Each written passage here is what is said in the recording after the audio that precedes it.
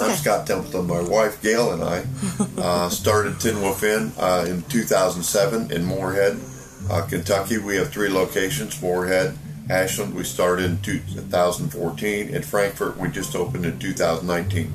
Uh, we have dock diving at two of our facilities, and that's what we're here today to show you guys a little bit about. Um, uh, Dock Dogs International is the largest uh, dock diving organization in the world, and uh, we have been a sanctioned facility since 2014. And we're pleased that the library is coming out here to see exactly what we're doing in part of their uh, Tails and Tales program. Is that what we're calling it? Yeah, yeah, which is great. That's cool. um, dock diving's a lot of fun. We do have classes. Uh, we can teach your dog how to jump off the dock, and then you can compete if you like. There are several events. Uh, the first is Big Air, where we measure how far the dog jumps uh, off the dock into the pool. It's kind of like long jump for people. Uh, there's different divisions, so you don't have to be the longest jumping dog to win uh, medals and prize money. Uh, a second event is called Extreme Vertical. It's like high jump. We have a uh, bumper that we place eight feet off the end of the dock, and it goes from four foot six inches high up to the world record's about 11, eight feet 11 inches.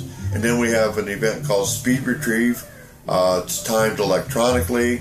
Dogs run down the dock and jump in the pool, and they retrieve a bumper at the end of the pool. And again, there's different divisions in all these sports. The fastest dog in speed retrieve, uh, the world record now is under four seconds.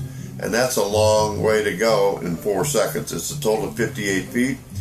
Uh, then we have a newer event called Dueling Dogs, where both dogs, uh, two dogs compete at the same time and they run down the dock uh, and jump in the pool and pull a bumper, and the one that pulls it before the other one is the winner.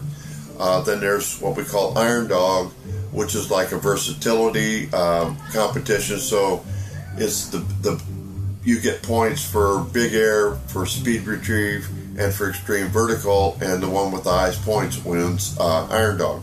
So it's a lot of fun. We welcome you to come out and give it a try. Uh, many of you have seen this event on TV, uh, but it's a lot more fun in person.